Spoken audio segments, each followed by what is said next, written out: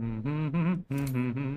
it's taking way too much time, this looting.